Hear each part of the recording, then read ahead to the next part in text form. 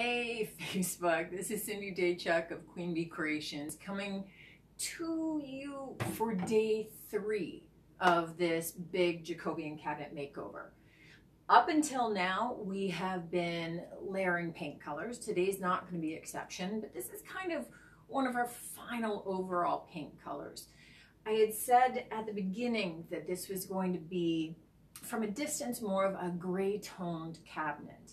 Um, and that's the wash that we're going to be applying today. We're not applying a solid paint color over top of this. And if you've been following along, we have put down a base of crinoline, which is kind of a cream color, a light creamy white. We have done a cross hatching with sandy blonde, which is a little bit more of a taupey yellow. We have done um, Oh my goodness, what other colors? We've done some uh, pale green, which is apothecary. We've done some pale mauve, which is French millinery, and one other in there that uh, a little bit of, we didn't add faded burlap. Anyway, we've done four different colors on this so far. It kind of looks a little bit blotchy. I tried to post uh, on the website a little bit of uh, a close-up so you could see a little bit more of the colorings and how they've all kind of patched in together. So far I have added the gray wash to the rest of the cabinet except for the top. And, and I'll tell you why, little, little tip. When you make up a color wash, you're really guesstimating how much you're going to need. And in case you run short and you have to mix up some more and therefore getting an exact match is going to be near on impossible unless you measure. And I'm not a measuring kind of gal.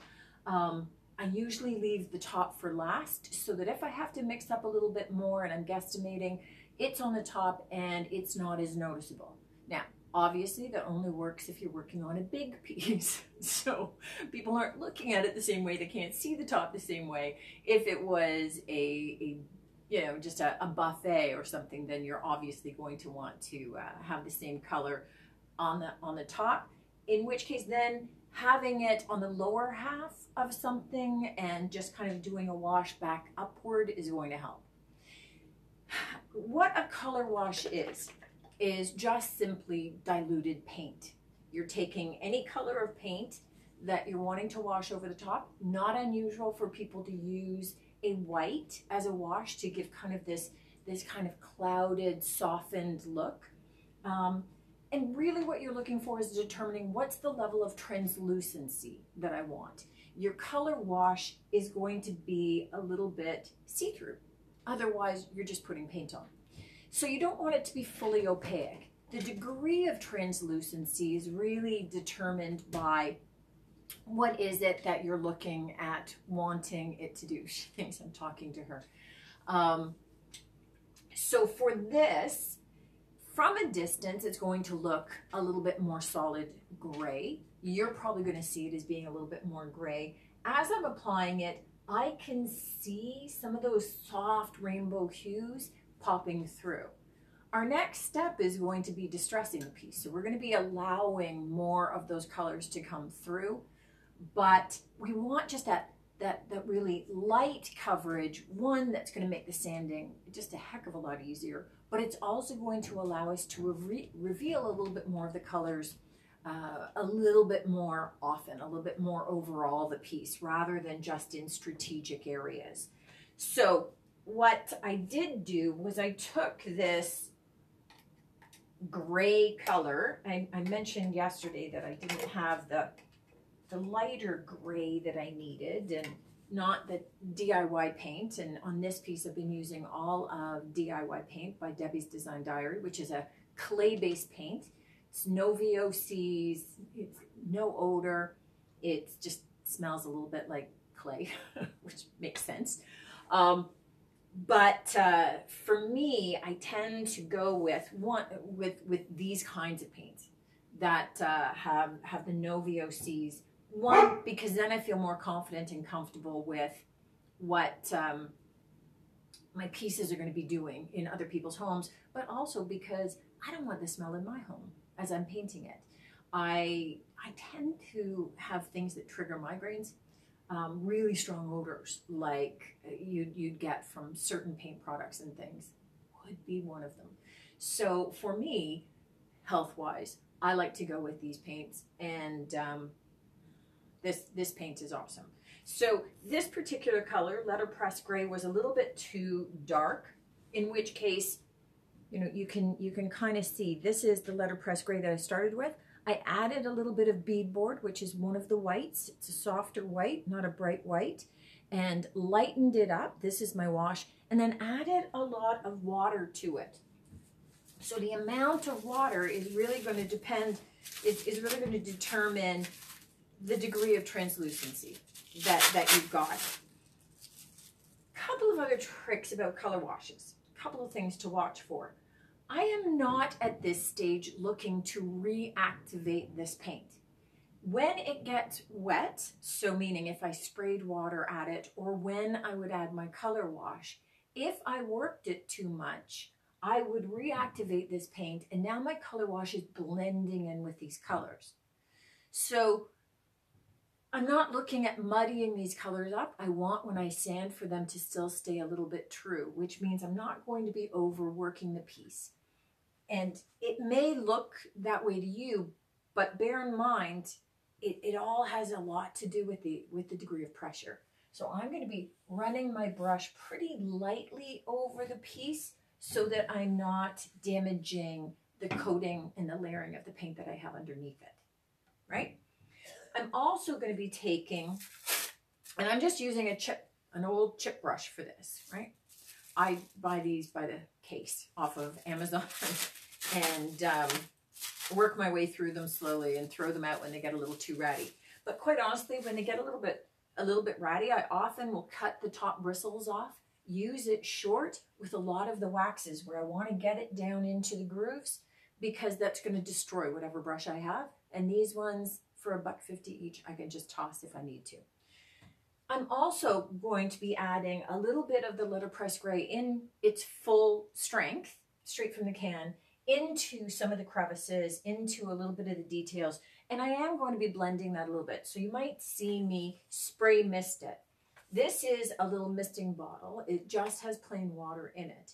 When I'm using it, I am just lightly misting. It does not have water that's dripping. It's not enough water that's going to sink right down into the paint. It's just enough to help move that thicker paint over over top of and into the wash, right? So I'm going to be trying to blend it a little bit. Might be difficult for you to see from, from where you are, but what I'm, I'm already doing is starting to add a little bit of a shadowing layered effect. I'm going to be doing a lot of that with the waxing, which will come after all of the sanding. But um, when we get to the waxing, I'll be doing a number of different waxes as well. So I know on this piece, definitely clear uh, as a base, probably some, some dark or black wax, probably dark wax. And um, I'm, I, am thinking right now I'm going to make a, a gray wax. So I'm going to be taking some white wax and mixing some of the letterpress gray paint that I'm going to be adding on in, in uh, a little judiciously today, but I'm going to be adding a little bit of that in too. So we will be doing that, and then we will be, after all of the waxing and, and some of the buffing, then I will also be doing some additional aging with some, some additional products, some dusts and some uh, dark and decrepit. Uh, so I, there's, there's a lot that's still going to be going on to be able to bring out a lot of the beautiful details on this piece. And um, as much as I'm only kind of showing you the bottom half of this, for these lives, I will be um, showing you some of the top as we get into some of the detailing. So, oh, I see. Uh, hi, Elizabeth. Hi, Holly. Thank you guys so much for watching. Um, let's get started on doing some of the washing so that you see a little bit of this. You can see how thin this is. You can see this just running off of my paintbrush. That's what you want. And again, do a test patch and see if it's again the level of translucency some of my washes i want to see everything below so they're going to be even thinner than this you know, it's going to be just as runny, but there's going to be a lot less paint in it. This is a combination of that letterpress gray and beadboard, but heavily diluted to be able to get um, the, the wash that I'm looking for. And here I am looking to pretty much cover the piece in these in this color, but I don't want to be spending a lot of time. And here I'm just covering it very lightly to be able to get that coverage. I'm going to be sanding back, so that's not an issue for this, but it does mean I don't want to be working that paint below it too much. Don't want to be overworking it certainly. And if I if I have it so that some of those those undercolors are showing through, that's okay. So I don't have to get a hundred percent coverage with this because I know I'm going to be distressing back and sanding back to reveal those colors anyway. So unlike some paint finishes where I want to hide everything and just show very strategically in some of the distressing um, areas where the paint color is, so maybe like some black in the corners or some natural wood. This, I'm going to be distressing all over. I want to get some of these lower colors, these undercolors showing through and creating this, this slight, just soft kind of rainbow effect. Overall, it will look gray, but um, it adds a little bit more depth to the color, a little bit more tonality. And I think that when people are starting off painting furniture, and I know I get a lot of questions. I had somebody asking me some questions about just recently about the colors that I had used on refinishing. If you scroll back, there's an, an, another old vintage cabinet that I had done recently, kind of in gray tones. It looks a little bit more blue and cream um, on on uh, the pictures, but it's it's kind of blue tone gray, so it's a little bit more gray and cream. But the color that I started with underneath was olive. I used an olive green underneath those grays. Now, when I distressed it very lightly, you get a little bit of that green showing through, but nothing that probably anybody who didn't know would ever say, oh, there's an olive green under there. But what it does do is it adds a depth of color to the grays that I layer over top. So it's not so much I was looking for the olive to show as I was looking for it to, to lend a little bit more depth and a little bit more earthiness to the gray tones that I was going to be adding over top of it. So sometimes, you know, you can uh, if you're painting, let's say like a, a, red piece, if you have, if you layer that over top of the black, it's going to add this, this kind of this, this uh, element to the red that even if you don't distress back is going to give a little bit more richness and a little bit more depth to it. So there's a lot that you can do with playing with colors that a lot of people might not realize. You know, that you get a lot of people that they'll paint a gray piece gray. Most of most of my pieces, even if they look gray, are going to have a lot of colors layered underneath it, which means it's very difficult one for for other people to duplicate. But it just it, it, it lends a little bit more interest to the piece, a little bit more depth to the piece, and I think is one of the reasons why people would maybe be interested in buying that piece than just going out and buying a can of gray paint and painting painting their own buffet. Is that uh, there's a little bit there's a little bit more to it. It's a little bit more involved. There's a little bit more depth. And there's a little bit more interest to the piece than just uh, that plain straight coating. Now I'm just trying to get into a couple of those little grooves down there because didn't necessarily hit all of them. But you can see that I'm just dragging that brush very lightly over all of those, those crevices, all of those interest points. I'm not trying to spend too much time in any one area. I don't want to start mixing this gray paint up with those other colors. I just want it laying lightly over the top so that when I do start to sand, I'm going to get a lot of those other colors revealed underneath it. Okay, so it's going to be more colorful than it seems, although it looks like we're going to a plain gray piece right now. it's just looking a little more solid from from your end, but we're just we're just creating more layers, more depth, more interest. And again, just continuing to to add to it. None of this has been hard to do, time consuming perhaps. And that's one of the, the things that I think sometimes when people are are buying um, painted furniture from from a furniture artist is understanding what they're paying for sometimes, right? Is is understanding the pricing of the piece and what they're paying for. But you look at what were the number of hours that were spent on refinishing a piece?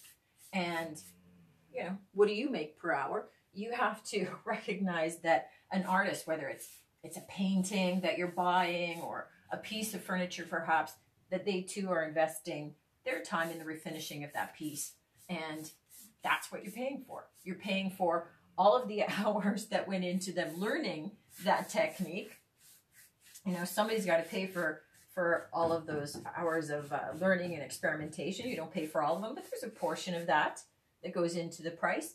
Um, and if you're a furniture artist, you need to make sure that you're building that into your hourly rate. But I know when it comes to pricing my pieces, I am very um, religious about tracking.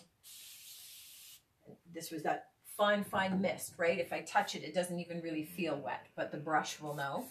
Um,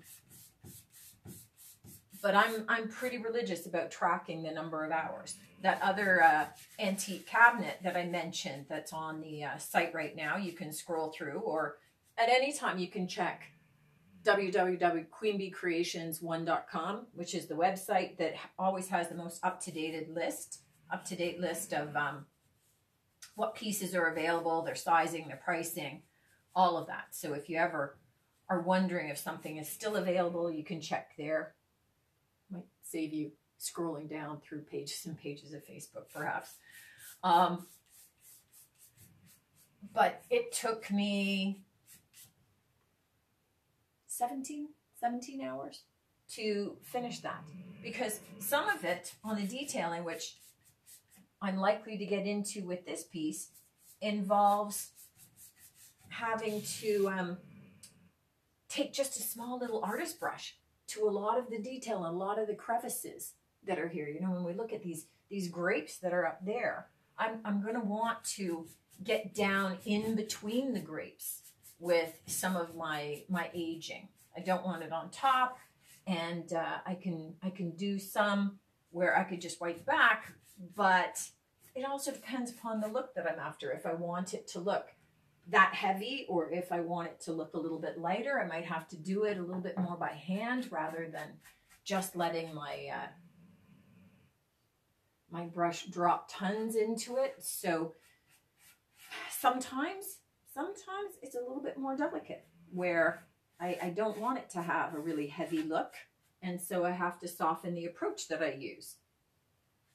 It varies. Now, I will say, um, when I started this cabinet and doing the wash, this container was full. I am down to a little bit less than the last quarter.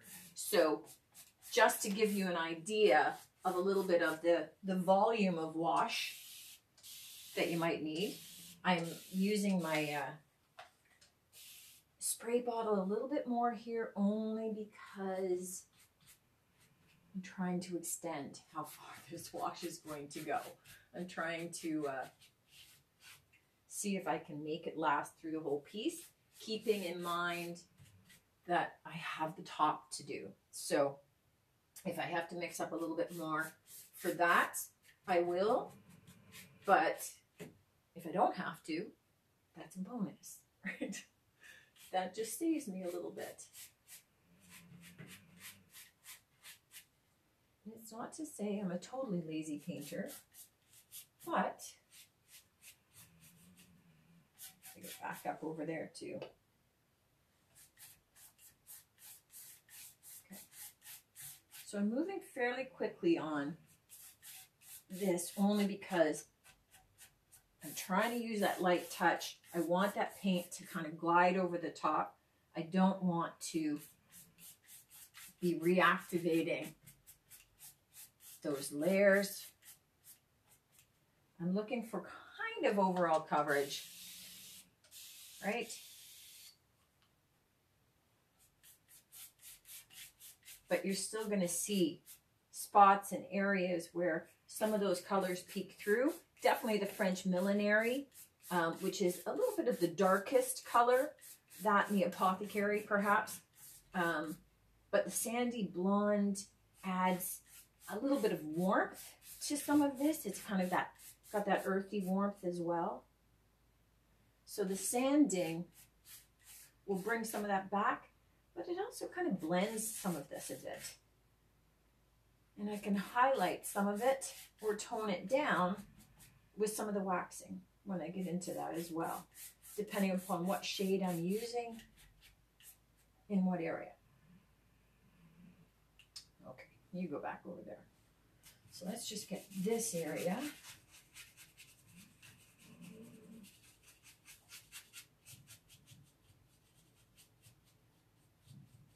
Now here, even though I'm trying to get into all of those little details and the crevices, I'm still trying to keep it fairly light. Oh, hi, Holly and Elizabeth, thanks for tuning in. Hopefully getting a couple of little tips. For me, it's always cool just to see where a piece starts and where it perhaps ends up, right? So this piece I know I had posted on Facebook and just asking people to think about, okay, you know, what would you do? What, what would be your vision for this? Because sometimes that's the cool piece too, is to take a look at, ah, what would you envision? Would you go light? Would you go dark? Would you go um, a color? If so, what color? And then which direction did the artist take? how did that match with your vision for it? Did it end up uh, better? Did it end up worse? You know, are you still sold on on your idea, or do you end up loving what they did? So I have to admit that uh, when I get a chance, I try and catch on uh, on YouTube or on Facebook a lot of different artists that I follow as well, just so that one I can kind of see where they're taking a piece versus versus myself their creativity their vision how does that match? Sometimes i get ideas where i'm kind of like, okay i want to try that i want to see where that goes and uh, take it in my own direction. Now this this is a french tip brush from paint pixie and i'm just adding in some elements of that darker full strength letterpress gray. And for this, I will wet it slightly and just take that same chip brush that I was applying the wash and just kind of drag it through lightly to just kind of extend it out, um, blend it in just a little bit more. But I'm just kind of strategically adding a little bit more depth, a little bit more dimension into some of those areas, just using some of the color. I'm going to do some of that with the wax, but it doesn't hurt to use your paint to be able to add some of that too right? Anytime that you can take a piece and just start layering, layering, making up words here, but you can just start layering some, some paint color into it, even when it's tone on tone like this is, right? It might seem very subtle, but it adds a little bit more dimension to the piece. Oh, Sorry, I'm, I'm nudging my dog out of the way here. She uh, tends to set up camp wherever I am and likes to be likes, likes to be touching me. Any of you guys have have have uh, dogs or cats that uh, just you can tell what room I'm in at any time because my dog is right there with me. And forgive my workout clothes. I'm trying. I'm trying to keep them clean. I didn't get a chance to. Uh, I kind of just jumped right on here, rather than than changing. But since I had a chance to fit in a, a little workout, I did. Later after after we're done here, I have to uh, change into my into my whites, into my my dobuk. I'm heading out this evening to the dojang, which is for Taekwondo. Our uniforms for Taekwondo, our uniforms are called dobuks, and uh, the workout area, the training room, is called the dojang. I'm going to be helping with a a taekwondo grading. So we've got a number of, of kids that are going to be grading for their next belt level, which is always so much fun, right? To see to see them working hard and progressing, and the pride that they've got in uh, getting their next belt level, which is which is very cool. But uh, I will be helping out with that a little bit today. So there's no way I'm painting in those whites. it's hard enough. I mean, usually I'm just in my in my uh, in my jeans because you know some people can paint in really nice clothes and they stay really clean. I mean, I'm already covered. My hands are covered in paint already, and uh, and I thought I was being pretty pretty clean pretty neat and clean about this. So I have clothes that uh, I used to have just designated paint clothes, right? Just these are the jeans I paint in. I don't paint in anything else. Let me just, you know, this is my paint top. And then I catch myself running out to the store and, and I'm in those clothes and I'm just, so by the time that I started to realize that, you know what, I just ended up jumping on painting in, in whatever. And oh, I just have this one quick moment and I just have this little bit that I want to paint. It'll be okay. And then I end up covered in paint. It's just, it got to be too, too much work to try and just maintain one set of clothes that I painted in all of the time. But I tend not to paint in my workout clothes just so that I don't look like a total yahoo. when when I'm out in them or out in the gym. It's bad enough somebody my age wearing wearing spandex. Maybe not not the most fun thing for other people to see. Um, let alone if they're they're looking at me funny because I'm also covered in covered in paint and they're wondering what the heck I was doing or what exploded on me when I was working out, but sometimes I'm just too lazy to change this this was one of those moments where I was just okay. I've been in clothes. I've been in my workout gear. I got to put my dobuk on later. I'm done. The next thing I want to put on are my jammies. So it's like I, don't want to be changing again. Anybody else paint and they find that they're holding on to like three, four, five things? This is this is hard talking and painting because usually I'm painting doing this and then taking the other brush so I have to keep remembering that I have to keep my mouth empty. So y'all can hear me as I'm talking, because normally I'd be putting other little brushes in there and uh, it's not going to work so well on a Facebook Live. So now I'm, I'm learning as I go to do it and then I'm catching myself just how often I do that, which is probably not a good thing. But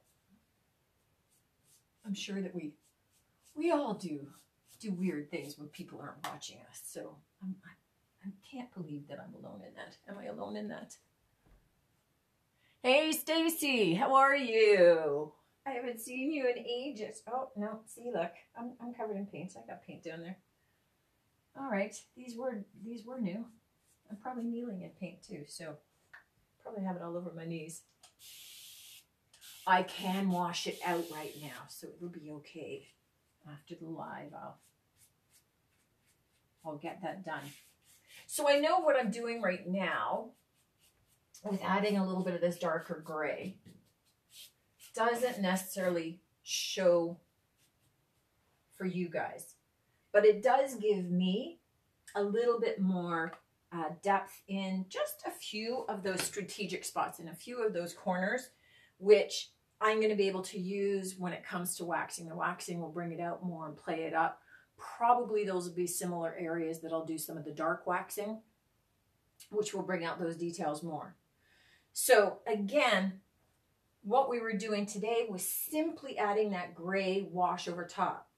I said at the beginning that overall it would end up looking gray, and it looks like I've hidden those layers, but the next step is really going to be revealing those layers. It's going to be the sanding back, which, you know, my family loves when I'm standing in the middle of the living room because dust, dust everywhere.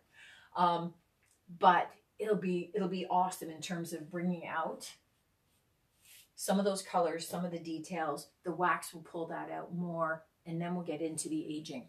So I'm hoping Ah, great, Elizabeth. First time. Well, you know what, honey? This is only my third time. So, I mean, earlier this week was my first time and I couldn't even figure out how to shut it off. So if you watch that one, you've got the waving finger at the end. It was mostly because the stop button was not where the start button was. And uh, it took me a little bit because, you know, I'm older, technology, um, and figure out where that was. So nice oversharing, but uh, this is something that I'm looking at doing uh, more more often and kind of sharing. I've had so many people that have been asking about paint classes, and especially local people here, and um, it's not something that I've done or offered, and I'm certainly not set up in my house for people to come here and uh, take a paint class for me. But I thought this was the easiest way to get that out. And I know with a lot of the antique pieces I've been doing lately and doing some aging, I've had a lot of other um, you know, painters just starting up wanting to know how to be able to get those finishes. So I thought that I'd share this piece at least from start to finish to give an idea of how I'm building that up, how I do some of the aging, how I how I get some of those details to pop a little bit more. So hopefully you guys are learning something as we go along and you're enjoying. I am going to wrap up for today, let this dry because we're going to have to get into sanding.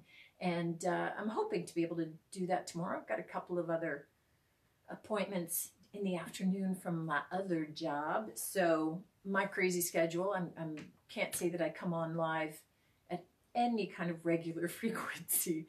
Um, but I'm coming on whenever I can. And certainly you can catch this in the replay. I have been posting them and uh, I am trying to get them up onto YouTube as well in case that tends to be somebody else's preference to be able to watch them there.